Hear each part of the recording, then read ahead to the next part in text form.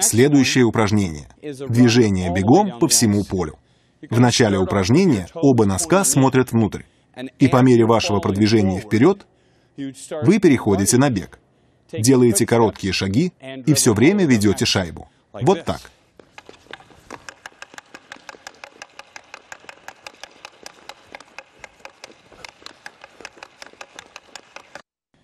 В следующем упражнении мы заносим ногу и подпрыгиваем. При этом ведем шайбу из стороны в сторону. Вот так. Когда вы переносите внешнюю ногу вот так, передвиньте шайбу вровень с этой ногой. Вот так.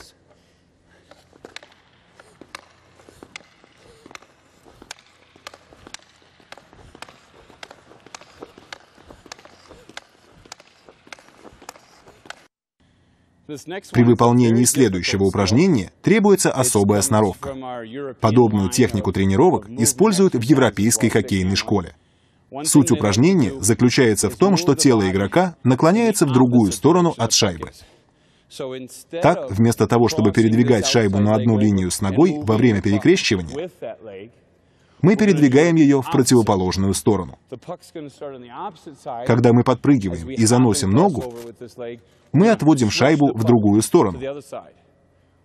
С неудобной стороны лучше вести шайбу одной рукой, а с удобной — двумя. Вот так. Подпрыгиваем, отводим шайбу.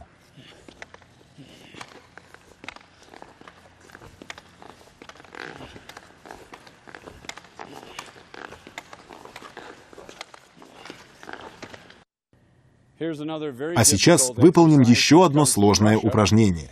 Его используют в русской хоккейной школе.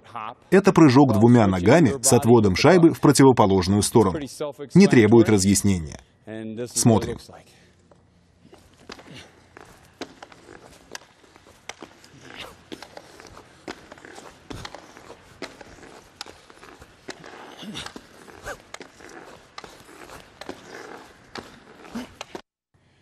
Теперь переходим к самому сложному упражнению на боковое маневрирование.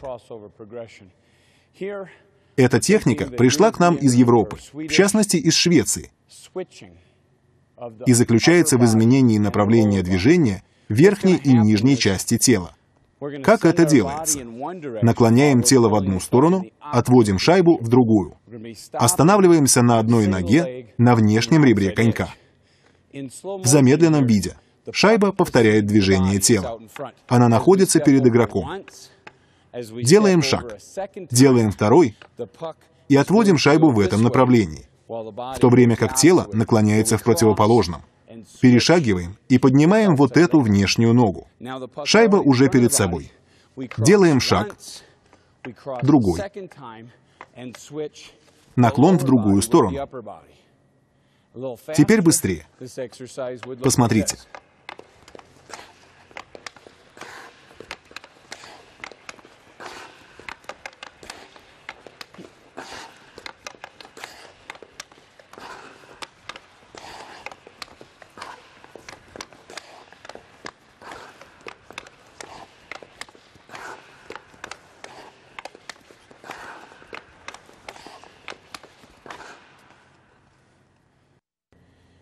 Наше следующее упражнение родом из Швеции. Скрестный шаг в удобную сторону, затем прыжок и далеко отводим шайбу в противоположную сторону.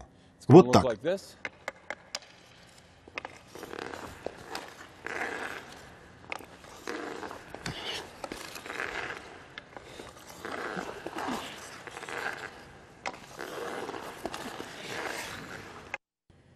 И еще одно сложное упражнение на боковое маневрирование, но теперь с использованием клюшек.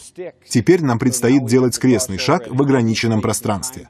Нужно быть последовательными и следить за координацией движений рук и ног во время дриблинга.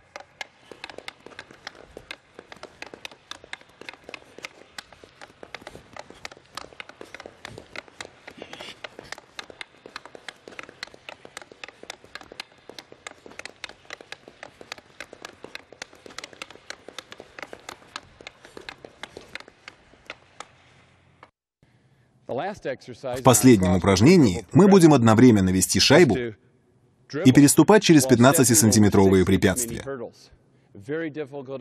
Это очень сложное упражнение. Сначала покажу в замедленном виде. Вам требуется пройти 5 мини-препятствий с крестным шагом. Не потеряйте равновесие. А теперь с нормальной скоростью.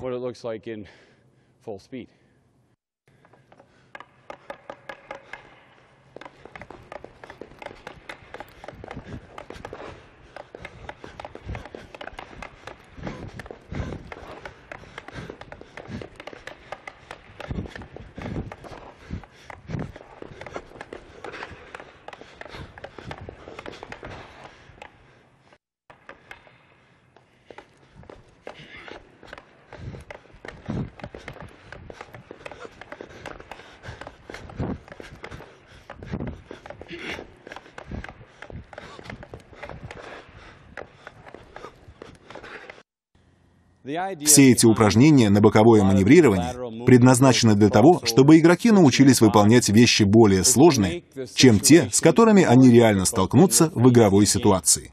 Конечно, освоив технику скрестного шага, прыжков двумя ногами, переноса шайбы в другую сторону во время прыжка, вы легко сможете выполнить обычный скрестный шаг во время игры. Два-три шага в одну сторону и два-три шага в другую. После всех предыдущих упражнений этот шаг покажется очень простым. Главное, чтобы вы смогли с той же легкостью применить его в игровой ситуации. Обычный скрестный шаг. Посмотрите.